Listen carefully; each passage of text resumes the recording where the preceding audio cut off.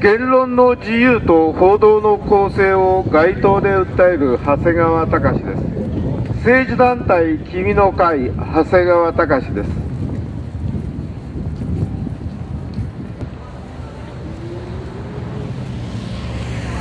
言論の自由と報道の公正を公正なる報道をここ東京新宿駅南口改札前で訴え続けております。政治団体君の会長谷川隆です。さてもう皆さんすでにテレビあるいはね皆さんお手持ちのスマートフォン等であるいは iPhone 等でニュース等でご存知かと思います。なんと安倍晋三内閣総理大臣閣下が大韓民国の平正冬季オリンピックにパラリンピックに開会式に出席されるそうです。私はね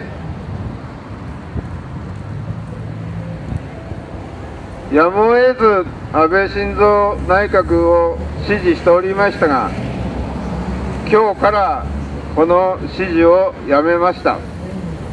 やめます。かつて私はね安倍晋三内閣総理大臣閣下が憲法9条に第3項をつけ,、ね、付け足すだなんて言った時にああやっぱりそそっかしいおっさんだなと思った。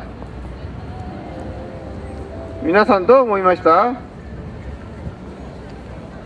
こともあろい内閣総理大臣閣下がですよ一部の学校で小学校などで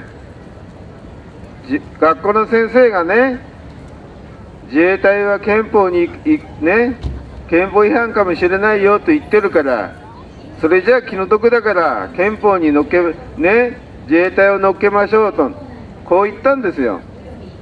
バカ言ってんじゃないやと思ったの。内閣総理大臣たるものが迷うこともなくきちっと自衛隊を法律で作ったんじゃないですか。日本国の法律で制定されたものなん。そこに迷いがあるだのね。そういったことが言ってる人がいるだろうなんていうことが。内閣総理大臣がね言っちゃいけないこと。堂々とそんなことのない。自衛隊の諸君は皆さん頑張ってやってるじゃないですかきちっと。違憲違憲の疑いがあるなどと言ってる人がいるなどということを言っちゃいけないの。それがね一国のリーダーなの。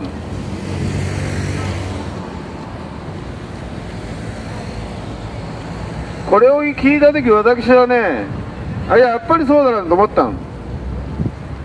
一見保守のふりをしててね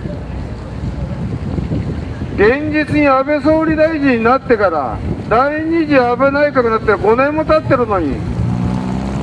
拉致問題もただ議員バッジの下にブルーリボンをくっつけてりゃいいみたいな。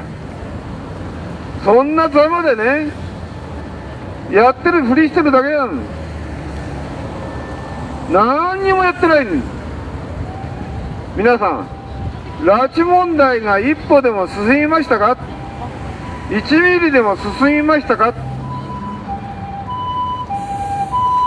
安倍晋三がね総理大臣になってから進みましたか何にも進んでない。やっているふりをしてるだけ。外交についてもそう。自主独立。日本の国は植民地なんですよまだアメリカの。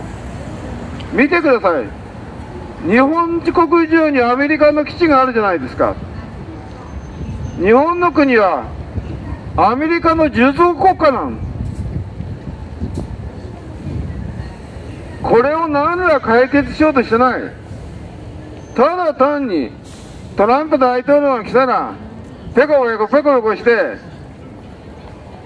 ねただただ頭下げてしまいには武器を買うという約束をして何にも進んじゃいないの朝鮮半島の問題だって北朝鮮の脅威の問題だって何にも解決してない。やっと動き出したのはアメリカ自身が危なくなったからなん。だから動き出したん。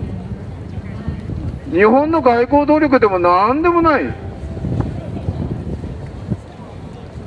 これが実態なんですよ皆さん。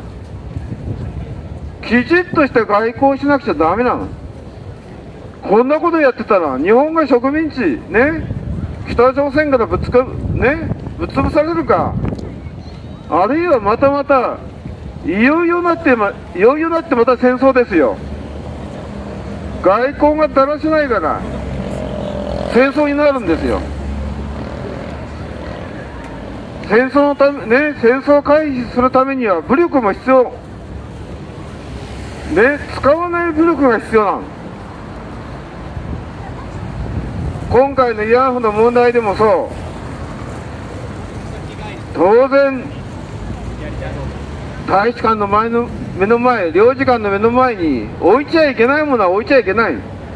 これは国際法でも決めてある。それを撤去しなかったら大使か大使あるいはね領事館なら総領事を引き上げる。これが外交なん。こんなことも分かんないような内閣総理大臣なんだとっととやめてもらった方がいい。こんなのだったら誰でもできる。ね。大使が撤去ね。撤退しても総領事が撤退しても日本の国ね。韓国政府が変わらなかったら次には何をするか。ビザ免除協定をね停止すればいいんですよ。そうやってきちっと外交していくんです。そうすればね誤解されないの。それでいて何かとねいやーひどいよ韓国の人たちはひどいよ韓国政府はひどいよって悪口言ってるだけなの。何が悪いって日本が悪いんですよ。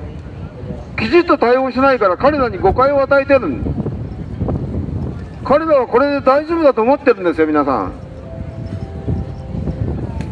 ここでまたオリ平松オリンピックが行こうもんならほれ見ろって。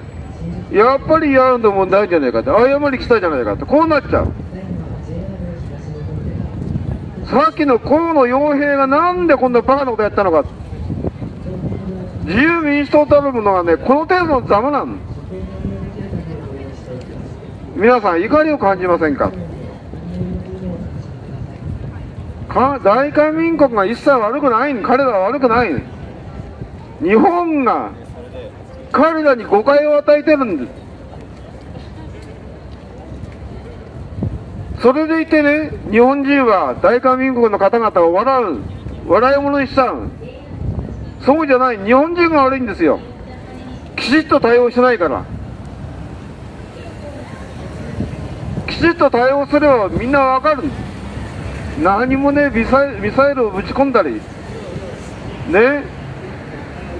大砲やミサイルや鉄砲を使わなくたって言葉は通じる言葉は通じるんですよ皆さん。通じないように通じないようにやってるのは何のための外交か分かってない。今現在の安倍晋三は自分の政権を維持するためだけだ。ただ内閣総理大臣をね3期やりたいだけなんだ。日本のためにやろうなんて何も考えてない。それが安倍晋三のね実態なの。また自由民主党のね衆議院議員も参議院議員も何にも言えない。結果的に日本の外交なり安全保障は安倍晋三内閣になってから一歩進みましたか何にも進んじゃいない。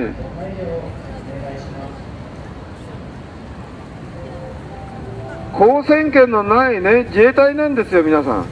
自衛隊の諸君にね両手両足を縛ってさあ頑張ると言ってるこれじゃダメですよ。気の毒だ。ね皆さん。災害救助のためにね自衛隊があるんじゃない。日本の安全保障のためなん。防衛のために日本の国には自衛隊があるんですよ皆さん。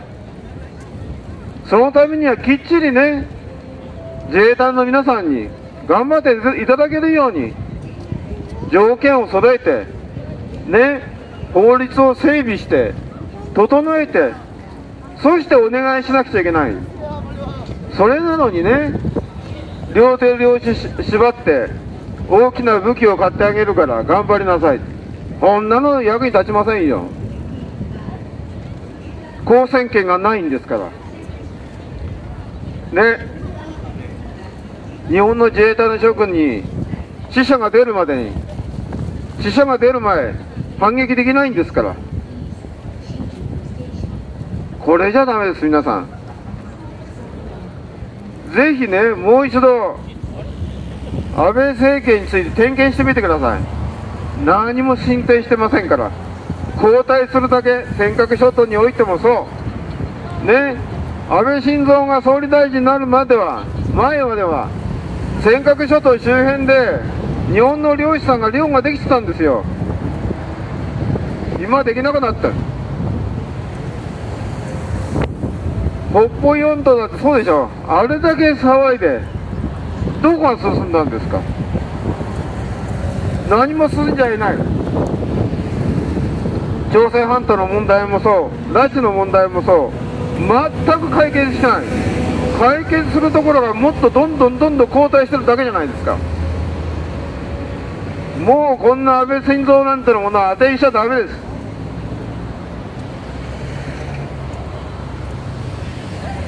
新しい内閣総理大臣を今度皆さん探しましょう。